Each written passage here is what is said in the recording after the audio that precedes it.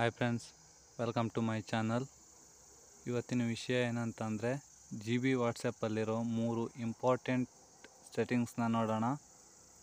ಮೊದಲನೇ ಸೆಟ್ಟಿಂಗ್ಸ್ ಏನಂತ ಅಂದರೆ ನಾರ್ಮಲ್ ವಾಟ್ಸಪ್ಪಲ್ಲಿ ನಂಬರ್ನ ಸೇವ್ ಮಾಡಿದರೆ ಮಾತ್ರ ಆ ನಂಬರಲ್ಲಿ ಚಾಟ್ ಮಾಡ್ಬೋದು.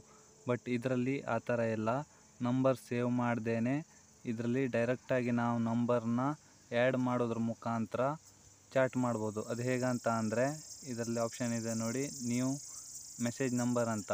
ಮೆಸೇಜ್ ನಂಬರ್ ಅಂತ ಕ್ಲಿಕ್ ಮಾಡಿ, ಅಲ್ಲಿ ಫೋನ್ ನಂಬರ್ ಅಂತ ಕೇಳುತ್ತೆ ಪ್ಲಸ್ ನೈನ್ ಒನ್ ಟೈಪ್ ಮಾಡಿ, ನಂತರ ನಂಬರ್ ಟೈಪ್ ಮಾಡಬೇಕಾಗತ್ತೆ. ಪ್ಲಸ್ ನೈನ್ ಒನ್ ಟೈಪ್ ಮಾಡದೇ ಇದ್ದರೆ ಆ ನಮ್ ಯಾವ ನಂಬರ್ಗೆ ಚಾಟ್ ಮಾಡಬೇಕು ಅಂದ್ಕೊಂಡಿದ್ದೀರೋ ಆ ನಂಬರ್ಗೆ ಮೆಸೇಜ್ ಹೋಗಲ್ಲ. ಮೊದಲು ಪ್ಲಸ್ ನೈನ್ ಒನ್ ಟೈಪ್ ಮಾಡಿ, ಆಮೇಲೆ ಟೆನ್ ಡಿಜಿಟ್ಸ್ ಮೊಬೈಲ್ ನಂಬರ್ನ ಟೈಪ್ ಮಾಡಬೇಕಾಗತ್ತೆ. ಟೈಪ್ನ ಮಾಡಿದ ನಂತರ ಮೆಸೇಜ್ ಅಂತ ಒಂದು ಆಪ್ಷನ್ ಇದೆಯಲ್ಲ, ಆ ಆಪ್ಷನ್ ಮೇಲೆ ಕ್ಲಿಕ್ ಮಾಡಬೇಕು. ಕ್ಲಿಕ್ ಮಾಡಿದ ತಕ್ಷಣ ಈ ಥರ ಚಾಟ್ ಲಿಸ್ಟ್ ಓಪನ್ ಆಗುತ್ತೆ. ಇದರಲ್ಲಿ ಆರಾಮಾಗಿ ನಂಬರ್ ಸೇವ್ ಮಾಡ್ದೇ ಚಾಟ್ ಲೀಸ್ಟಲ್ಲಿ ಏನು ಬೇಕಾದರೂ ಚಾಟ್ ಮಾಡಿ ಸೆಂಡ್ ಮಾಡ್ಬೋದು.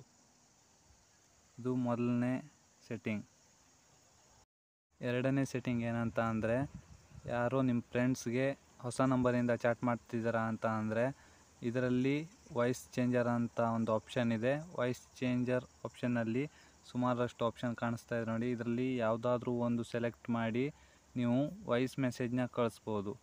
ನೀವು ಈ ಥರ ವಾಯ್ಸ್ ಮೆಸೇಜ್ ಕಳಿಸೋದ್ರಿಂದ ನೀವು ಯಾರು ಅಂತ ಅವರಿಗೆ ಈಸಿಯಾಗಿ ಕಂಡು ಹಿಡಿಯೋಕೆ ಆಗಲ್ಲ.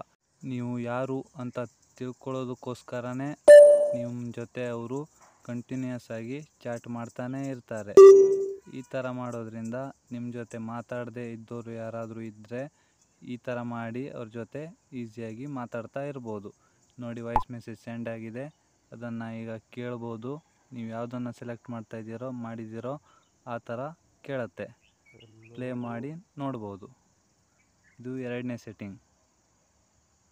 ಇನ್ನು ಮೂರನೇ ಸೆಟ್ಟಿಂಗ್ ನೋಡೋದಾದರೆ ತ್ರೀ ಡಾಟ್ಸ್ ಕಾಣ್ತಾ ಇದೆಯಲ್ಲ, ಅಲ್ಲಿ ಕ್ಲಿಕ್ ಮಾಡಿ ರೀಸ್ಟಾರ್ಟ್ ಜಿ ಬಿ ವಾಟ್ಸಪ್ ಅಂತ ಇದೆಯಲ್ಲ, ಅದ್ರ ಮೇಲೆ ಕ್ಲಿಕ್ ಮಾಡೋದ್ರಿಂದ ನಿಮ್ಮ ವಾಟ್ಸಪ್ ಒಂದು ಸಲ ರಿಫ್ರೆಶ್ ಆಗುತ್ತೆ ವಾಟ್ಸಪ್ನ ಕ್ಲೋಸ್ ಮಾಡಿ ಆನ್ ಮಾಡಬೇಕು ನೆಟ್ವರ್ಕ್ ಇಶ್ಯೂ ಇದ್ದರೆ ಆ ಥರ ಏನೂ ಇಲ್ಲ. ಡೈರೆಕ್ಟಾಗಿ ರೀಸ್ಟಾರ್ಟ್ ಜಿ ಬಿ ವಾಟ್ಸಪ್ ಅಂತ ಕ್ಲಿಕ್ ಮಾಡಿದ್ರೆ ಆಟೋಮೆಟಿಕ್ಕಾಗಿ ರಿಫ್ರೆಶ್ ಆಗುತ್ತೆ. ಈ ಮೂರು ಸೆಟ್ಟಿಂಗ್ಸ್ ನಿಮಗೆ ಇಷ್ಟ ಆದರೆ ಲೈಕ್ ಶೇರ್ ಮತ್ತು ಸಬ್ಸ್ಕ್ರೈಬ್ ಮಾಡಿ. Thanks for watching